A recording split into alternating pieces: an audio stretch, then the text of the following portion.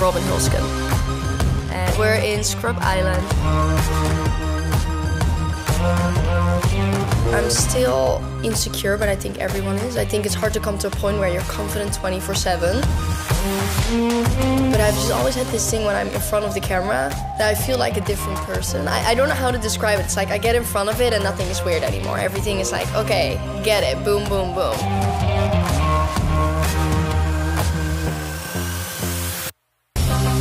What makes a person imperfect. What you look at it yourself, you're like, that's ugly. It's what makes you beautiful because that's what separates you from the rest. If you had nothing imperfect, that would mean everyone would look the same. That's what makes you special. And I do think over the years, your vision of beauty changes.